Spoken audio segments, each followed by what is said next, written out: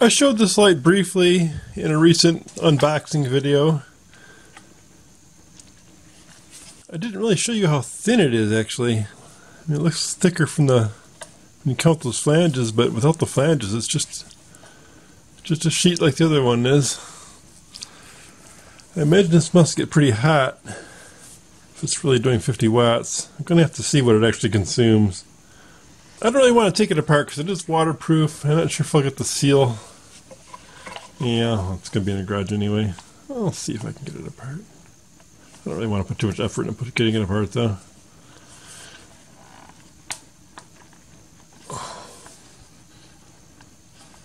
Okay, well, that's not happening. Let's skip that. Okay, well, I'm not going to take it apart right now. It doesn't come apart too easily. Imagine if I pried, I can get it apart, but it's supposedly waterproof. I don't really want to break the seal if it's waterproof. You can really see the circuitry pretty well. Some diodes. Okay, there's a bridge rectifier. There's two big electrolytics. So they're this isn't running off of just pulsed AC. That's nice. Should be a smoother light. That's a real plus, actually. There's two inductors over here, though, so I don't know. Maybe it is pulsed light at a different frequency. Who knows? Looks like two inductors. Huh. I hope I'm on camera for most of this.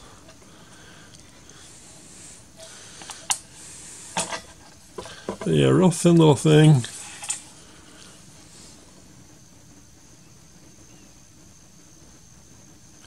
It's hard to say how big the actual LED elements are. I think they're obscured by phosphor completely.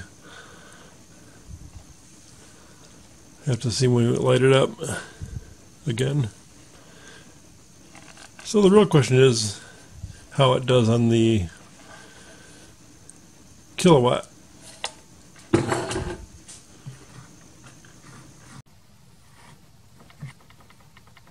It's been running a few minutes now, getting a little little bit warm. See we're over 120 volts here, 122. Not bad for a long wire. A few hundred feet away from any telephone poles. Uh,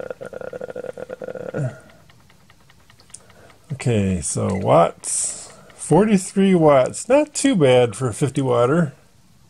That's not too terrible the way things go with these guys. And uh, no power factor must not be too good. 69 VA. Hmm.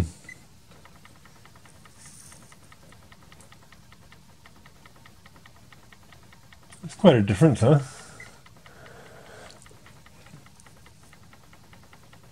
And here's Hertz. And power factor. Yeah, power factor is 0.61. That's interesting. Not very not very good power factor, but yeah, she's bright. And here's my barn ceiling. I've got two of the circuits on. I've got three switches for my lights. One controls the outlet in the far back there, one in the middle, and then one at this end. I've got fluorescents plugged into the front and the back light, back sockets, which is how it originally was done and I started using LEDs to get rid of these guys because they don't work very well in the winter. It takes a while to get to full brightness. That one in back was flashing even in this temperature, which is not that warm actually. It's in the 60s maybe. But the one in back finally stopped flickering.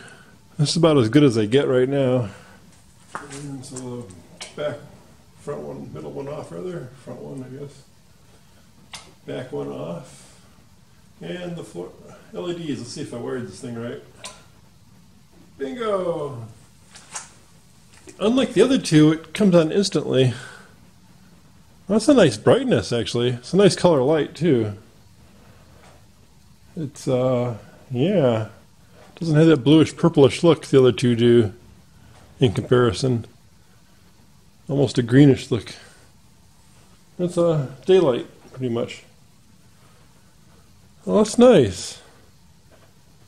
does really well. The uh, the new one's on the left, obviously, where the ladder is, and the one in the middle is a 35 watter, which is pretty true to its wattage. And then the one on the right is a 50 watter that's actually lasted, unlike all the other ones. It's only one of the three that lasted. And that one, uh, I can't remember what it pulls. It's I think it was like uh, 39 watts or something crazy. It's not really that close to 50 watts. So yeah, I like this little mini fixture. If it lasts more than 10 minutes, I'll probably buy more of them because they're really cheap right now. They're on sale for about 10 bucks. So if they're still on sale when I get back in town, I'll probably order a couple more back on the internet.